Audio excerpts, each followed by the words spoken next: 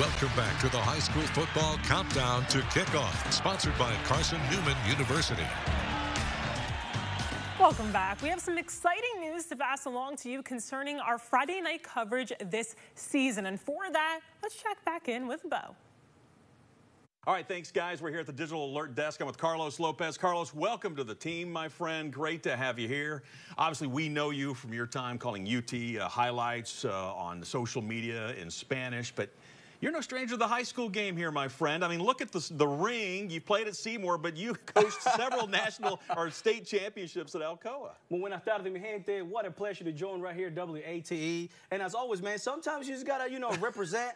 you know, I enjoyed my time. I played high school football at Seymour High School, played my collegiate level at Carson Newman in Middle Tennessee, and you know, just just bringing this new and exciting way of Spanish broadcasting to Knoxville. And I'm just so excited for this opportunity. Yeah, and and, and that's why we're here. Uh, we're here because every Friday night during, right before Friday Frenzy, really, we're going to be doing a halftime show. We're going to bring you the halftime scores, the second half scores of all the action, but something different that we've never done, and that's why we love the fact that you're here. We're going to do it in English, but we're also going to do it in Spanish. Man, así me gusta, así que todo el mundo a las 7 de la noche o las 8.45 tiene que estar aquí con nosotros en WATE.com y escuchar en inglés y en español.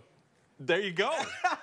there you go. But yeah, we'll have you covered, so be sure to tune in here. We'll be coming on around 8.45, and then after that, after Friday Frenzy, Carlos, we're going to put you down in the studio. You're going to be redoing some of the highlights from the night, and then we'll be posting those at WATE.com on our Friday Frenzy page, but you'll be doing it in Spanish. I like it. You know, as my background in coaching high school football, I coached for the past nine years at Alcoa High School, so I'm all about, you know, the special teams, so I hope that we have some game-winning kicks, some, some amazing punts, or some special teams tackles. All right, sounds good, my friend friend. Looking forward to it. Next Friday night, you ready?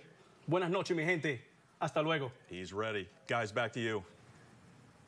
Thanks, guys. We're so excited to have Carlos join our team. And speaking of Alcoa, winning a state championship has become the norm there with the